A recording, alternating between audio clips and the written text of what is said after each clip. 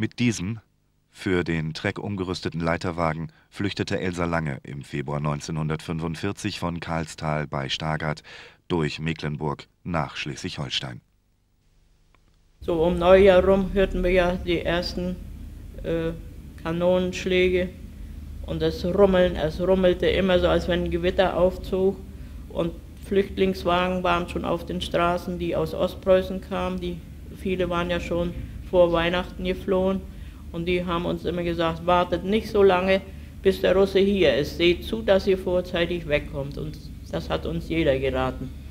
Und so allmählich kamen wir in, in Aufbruchstimmung und haben schon immer so ein bisschen vorgesorgt und darüber nachgedacht, was wir alles auf den Wagen packen wollten und wie wir, wie wir überhaupt eine Flucht gestalten können. Aber im Ernst haben wir nie daran gedacht, dass das tatsächlich mal ernst werden würde. Wir haben immer noch auf den Sieg gewartet. So allmählich haben wir doch manches zusammengesucht und schon so beiseite gepackt. Und unser, mein Ukrainer, der Nofre, der hat immer gesagt, ich mache Wagen fertig, denn ich weiß, ich, wir sind zwei Jahre unter Russe gewesen und wir haben auch schon mal mitgemacht.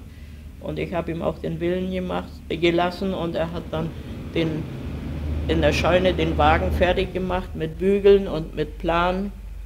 Und wir haben auch schon Hafer draufgelegt und Heu und alle Tage ein bisschen mehr. Und so ist der Wagen entstanden.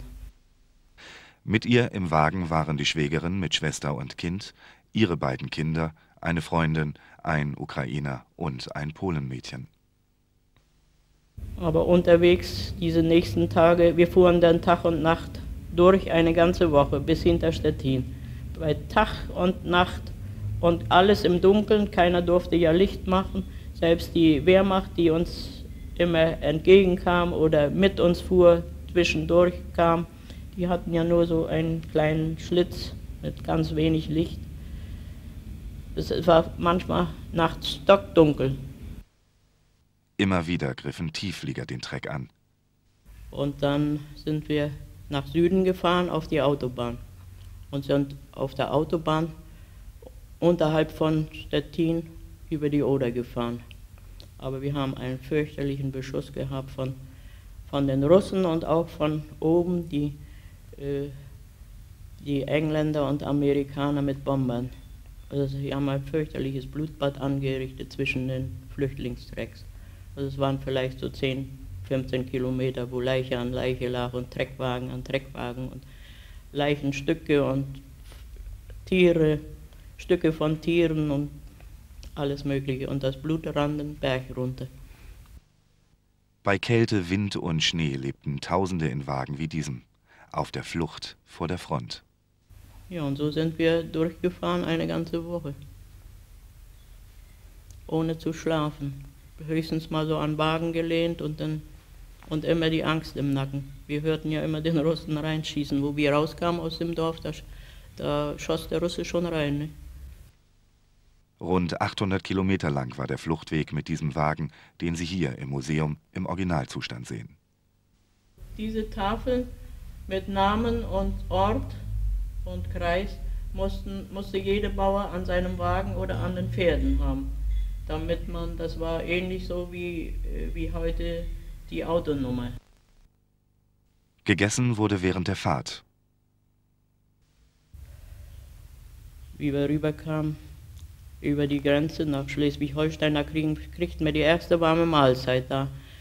Außer Gulaschkanone, da hatten sie Rindfleisch mit Graupen und Grünkohl gekocht. Und jeder wir hatten ja so, so Milch, kleine Milchkanne mit, ja, die hatten, oh ja, die ist aber weg. Und äh, die kriegten wir voll mit dieser Suppe. Hat das geschmeckt, das können Sie gar nicht denken nach drei Wochen, nicht? Die erste warme Mahlzeit. Und hinter der Grenze, wohin? Wer wollte schon Flüchtlinge aufnehmen? Da kamen wir nach Tolkwade den nächsten Tag und da stand eine Frau und sagte, ne, ihr könnt nicht nach Tolk, da, sind, da ist alles voller Soldaten. Und ihr müsst nach Scholderop runter. Dann fuhren wir dann, statt nach links, fuhren wir nach rechts runter, Scholderop. Und unten an der Brücke bei der Gastwirtschaft haben wir dann ein paar Stunden gewartet und keiner, uns wollte schon einer haben. Oben kam so ein älteres Ehepaar bei uns an Wagen und wollte mich und die, die beiden Kinder haben dann. Und ja, sage ich, und mein Pferd, ja, das muss dann bei einem Bauern kommen. Habe ich gesagt, nee, wo mein Pferd bleibt, da bleibe ich auch. Das 30 Jahre alte Pferd hatte, ohne Hufeisen, den Fluchtwagen in die Freiheit gezogen. Und da kam er bei Nachbarn, dann bin ich immer jeden Tag ein paar Mal hingegangen, habe ihn besucht. Da war er dann im Schweinestall ganz alleine. Und wir hatten noch einen Rest Hafer, hat er dann aufgefressen. Und der Bauer hat ihn auch versorgt. Und nachher im Sommer war er dann auf der Weide. Aber er wurde ganz mager und ganz grau sah er aus, wie ein Esel. Konnte man gar nicht mehr feststellen, dass es ein Pferd war. War ja auch so trockener Sommer, es gab ja so wenig zu fressen. Die Pferde waren, haben alle so gehungert. Und nun waren ja fast doppelt so viele Pferde hier oben, nicht? Durch die Flüchtlinge und so, doppelt so viele Menschen auch fast.